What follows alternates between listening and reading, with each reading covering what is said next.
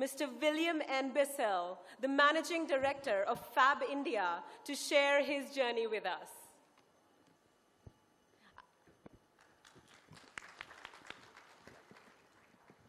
Hello, everybody. Um, I wanted to just um, thank Harbeen for uh, putting this amazing event together. I've been hearing about it over the years, and I'm honored to be here today and honored to see what you have actually accomplished and how much talent that you brought together under one roof.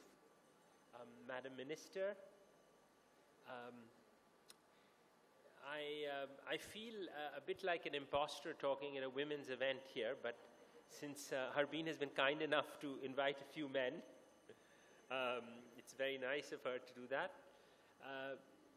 One of the interesting things about the company I run is that um, most of the people who work with us, most of our partners, are actually enterprises that are either run by women or in which we have a large number of women who work. Um, and it's been uh, an interesting journey to build a brand in a country like India, which is our brand sells clothes mostly to women. Um, and we have, uh, we're a 55 year old brand that has um, been in the retail industry in India. We have stores all over Delhi. For those of you who haven't visited, I recommend a visit while you're here. But um, one of the things that we've actually pioneered in is uh, we've understood how at the grassroots um, really helping women earn an income is possibly the most important economic activity individuals and governments can do.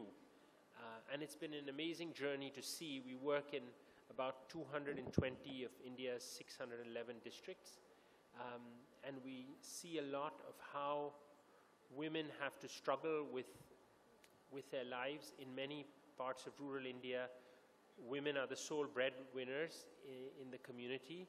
Um, they've also, in many cases, have had to be single parents because their husbands have gone off to the cities in search of work. And it's an amazing struggle to see how they've pulled together this um, and managed through these times of economic hardship. Um, one of the interesting things, there are a number of organizations in this country that have been founded by women, uh, like the Self-Employed Women's Association, which has over 2 million members, um, that have done amazing work in women's empowerment and employment.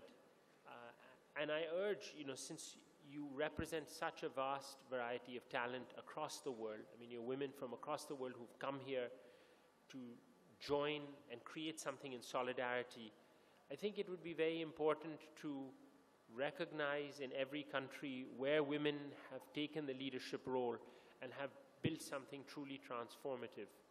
I think that we've all seen the 20th century with its many wars and its many conflicts has been a century where the world was run by men. I'm hoping that in the 21st century, we men can take a rest and maybe the world can be run by women, and I think the 21st century will be very different from the 20th century. Thank you very much.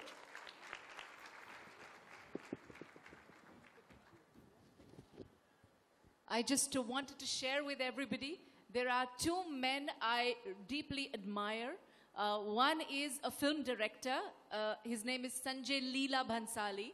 And the other is William Nanda Bissell. Uh, one big reason is that their middle name is from their mother, which is very beautiful. So thank you very much, uh, William, for, you didn't do it for us, I know, but it means a lot to us.